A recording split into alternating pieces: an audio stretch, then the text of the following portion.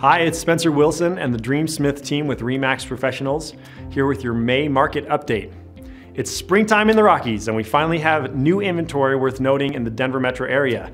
Active listings at the end of April were at 3,204, which is 44% higher than March.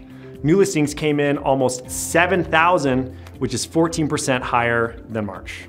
Pending homes in April were up 16% over March and closed homes were up 3% from the month before.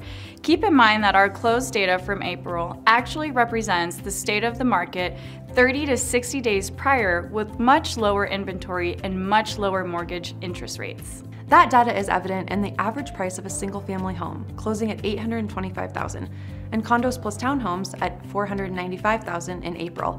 However, the market seems to be showing signs of a shift as the increased inventory and rising mortgage rates are slowing down the velocity of bidding wars in most price ranges and showings decreased per listing in April.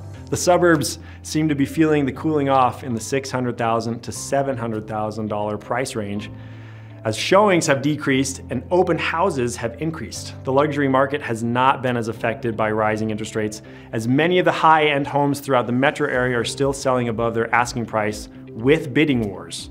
The good news for buyers is that any slowdown caused by higher mortgage rates should make the market a little easier for our patient buyers. However, we may see some signs of a mortgage trap as many homeowners may think twice about moving to get into their next home because of their low interest rate on their current home. This can also create less inventory and put more pressure on pricing.